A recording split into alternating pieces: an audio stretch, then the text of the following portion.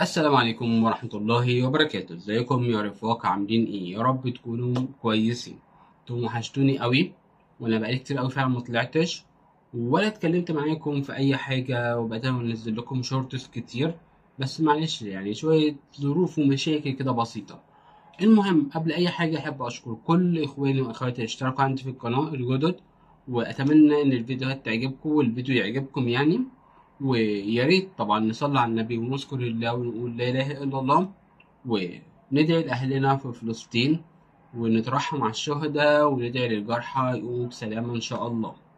وندخل على الموضوع والموضوع وهو بيتكلم عن الناس اللي ما بقتش بتتكلم عن القضية زي الأول إن في ناس كتيرة جدا غيرت المحتوى بتاعها بقت بتتكلم في حاجات عادية خالص رجعت لحياتها العادية تاني. ما بقاش في يعني الحماس أو اللي هو اللي كان موجود في الأول عند الناس إن الناس تقعد تتكلم عن القضية الناس تقعد تتكلم عن فلسطين إن الناس توصل صوتها إن الناس يعني تتكلم عن اللي بيحصل. الموضوع لسه ما خلصش ولسه فيه كل يوم شهداء. وعلى فكرة الشهداء وصلوا لتلاتة وتلاتين ألف والجرحى وصلوا لحاجة واحد وخمسين ألف. ودلوقتي بقى في مليون ونص نازح على الحدود المصرية. يعني الوضع بقى صعب أكتر من الأول. دلوقتي إحنا محتاجين نتكلم أكتر وأكتر عن الموضوع. يعني لسه الموضوع ما خلصش. كل يوم والتاني فيه شهداء وفيه جرحى. لسه مازال الوضع أخطر من الأول. ودلوقتي بقى فيه يعني نازحين كتير.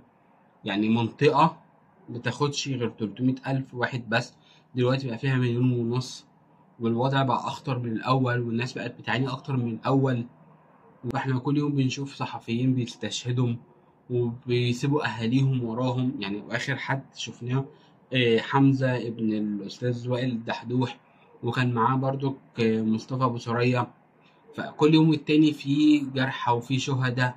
فإمتى هنتكلم أكتر؟ إمتى هنوصل صوتنا أكتر؟ إحنا الأول كنا نقعد نقول يا جماعة اتكلموا بالإنجليزي عشان نوصل صوتنا لل- للغرب. الغرب فهموا الموضوع وما زالوا بيتكلموا عنه وما زالوا بيعملوا كل حاجة عشان خاطر فلسطين.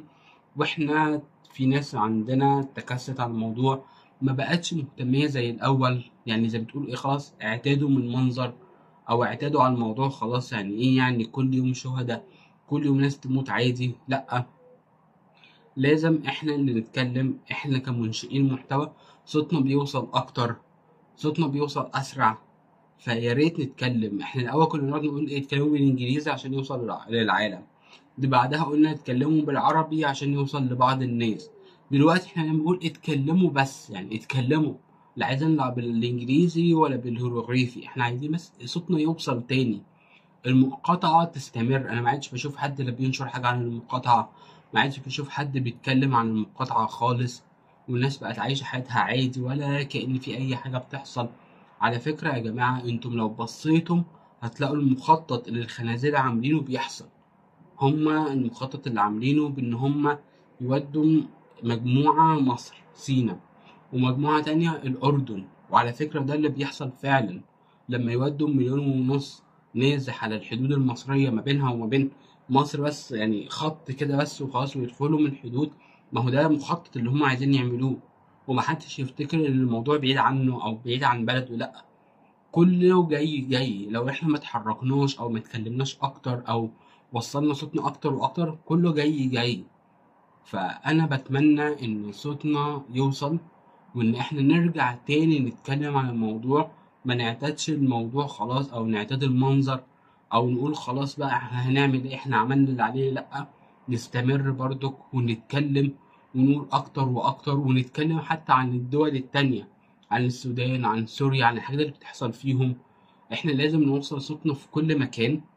فأتمنى إن إحنا نستمر ونرجع تاني إن إحنا نتكلم ونقول على اللي بيحصل ولحد ما الأمور تهدى أو على الأقل على الأقل الناس دي حقها تعيش زينا بالظبط زي ما إحنا عايشين. الناس دي لو ما ماتتش من الحرب هتموت من الجوع. أنتوا متخيلين يا جماعة؟ أنتوا أنتوا تقدروا تعيشوا يوم من غير أكل. مثلا تقدروا يوم واحد يعيشوا من غير أكل. ما أعتقدش إن حد يقدر يعيش من غير أكل. حد يقدر يعيش من غير مية. مفيش حد يقدر يعيش من غير مية. الناس دي عايشة كده من غير أكل ومن غير مية. حتى المية اللي بيشربوها مية ملوثة. أنتوا متخيلين؟ الأمراض عندهم بقت كتيرة. يعني والأمراض دي مثلا مش هتبقى عندهم هم بس هتنتشر في كل مكان. فيا ريت نرجع تاني نتكلم ويا ريت نوصل صوتنا أكتر من المو- الموضوع بقى أسوأ من الأول. والمخططات اللي هم بيعملوها. يعني هي بتبدأ تتنفذ ويا ريت الناس اللي بتحط صور على أغاني أو أغاني يا ريت نخفها شوية يعني بلاش عادي كده نحط الحاجات ديت ونبقى عادي لا مبالاة يعني. ميبقاش أهلنا في مكان بيتضربوا وعندهم شهداء وعندهم وإحنا عادي بالنسبة لنا عادي. غنى ورقص و... ومش عارف نحط صور على أغاني ونحط فيديوهات ونعمل. يا ريت نخف شوية من الحاجات دي يعني. بس وده كان فيديو النهاردة. أتمنى الفيديو يعجبكم. وفضلا وليس أمر مش مشترك في القناة اشترك ويفعل الجرس عشان يوصل له كل جديد. وأشوفكم في فيديو قريب إن شاء الله. يلا سلام.